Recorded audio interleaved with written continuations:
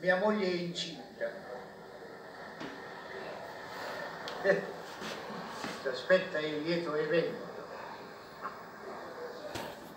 Io adesso vorrei sapere che gliene importa alla gente se mia moglie è rimasta incinta prima del matrimonio o dopo.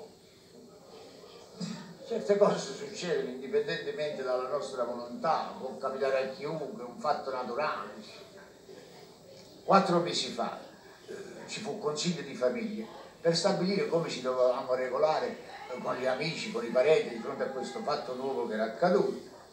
E io pensai che nessuno avrebbe avuto interesse di approfondire il fatto volendo stabilire, che so io, eh, il mese, il giorno, l'orario.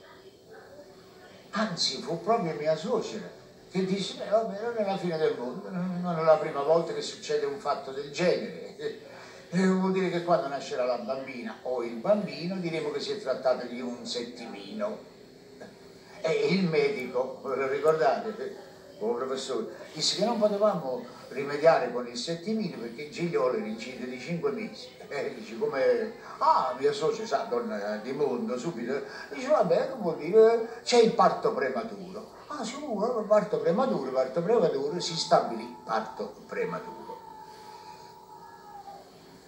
Adesso, eh, con tutto che la cosa si tenne segreta con tutti, con gli amici, con i parenti eh, più intimi, eh, già mi arrivano lettere anonime di ogni genere, ma continuamente, due volte in una settimana pure. Sì. Eh, lettere piene di improperi, di insulti, di tanti auguri per il prematuro lieto evento, sai? prematuro sottolineato, eh, eh, come per dire prematuro, eh, eh, disegni osceni. Perché veramente la cosa più squalida perché uno lascia una, una lettera sopra una mobile, se la dimentica, per, per le, le, donne di casa, la, la persona di servizio. Sì. Eh, questo, questo l'ho ricevuto proprio uscendo di casa, ma la voglio far sentire perché cose da pazzi. Eh. Eh. Sentite, sentite.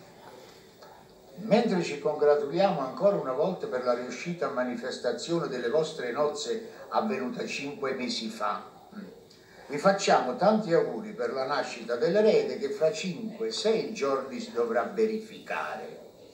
E sentite come conclude, sentite, eh? cani, sciuno e fessi.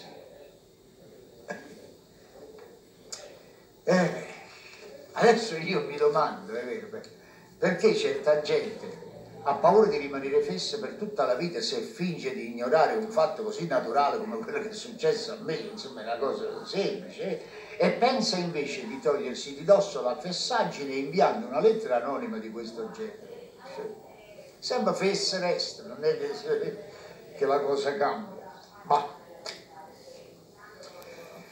eh, la laurea non è che un pezzo.